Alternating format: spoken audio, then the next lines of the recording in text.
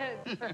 Beam us out of here, Scotty. That's our news for tonight. I'm Barbara Sloan. I'm Bob Soper. We leave you now with one of Miami's most talked about groups, The Goods, performing their first show on South Beach in nearly a year.